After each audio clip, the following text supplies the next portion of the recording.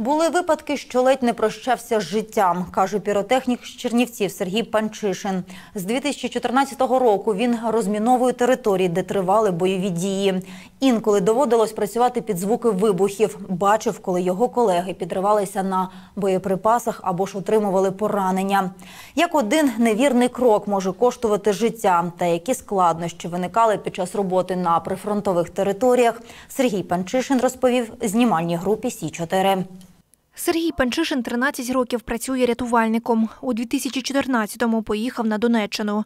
Спочатку зводив фортифікаційні споруди, потім укріплення військового аеродрому в Краматорську. Це було раптово. Я якраз тоді був тут в частині відповідальним офіцером, і вечором нам просто довели таку інформацію, що зранку ми грузимося технікою, ну, важкою інженерною, і вирушаємо на схід.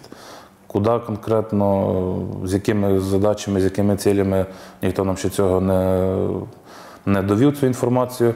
Страху як такого не було, а більш таке незрозумілі відчуття, бо перший час, я ж кажу, не знали, що маємо там робити, не, на- не знали рід занять свого, е, не знали задач. Упродовж року піротехнік виконував бойові завдання на Донеччині. Каже, у 2014 році не вистачало необхідної техніки та спорядження.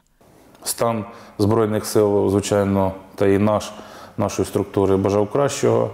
Ось, але в основному все трималося там на волонтерах початку, спочатку цих всіх е, дій в 2014 році після Майдану.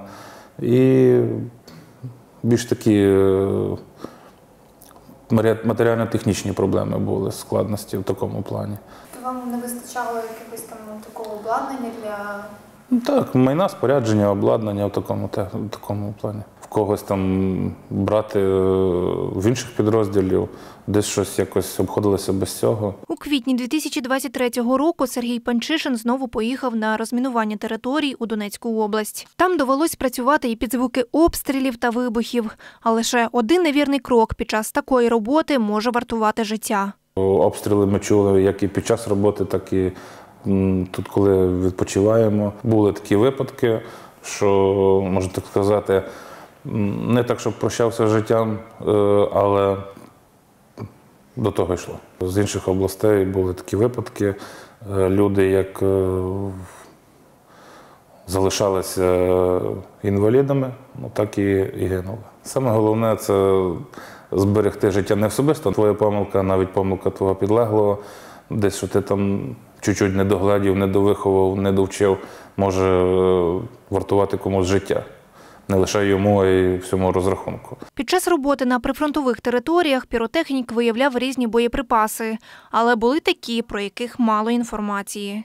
Дуже сильно було скупчення сили і техніки ворожої, яка згорівша підбита. І також з боєприпасами там все підряд під ногами валялося. Дуже мене сильно вразило, що дуже велика кількість е, касетних боєприпасів, особливо протипіхотних е, засобів. Сергій Панчишин через кілька місяців поїде на чергову ротацію. Каже, на очищення територій України від вибухонебезпечних предметів може піти кілька десятків років. Є певного роду офіцери старшого рангу, вищого, які рахують, що нам для того, щоб очистити територію, достатньо буде одного року. Е, Я вам можу навести лише один приклад, такий невеличкий, що ми, особливо зараз в Чернівецькій області, де ще можемо знаходити відлуння від Першої світової війни, яка більше століття тому закінчилася. Тому рахуйте самі. Я думаю, це ще нашим внукам роботи точно залишиться. Альвіна Абрамчук, Микола Ганутін. Новини Сі 4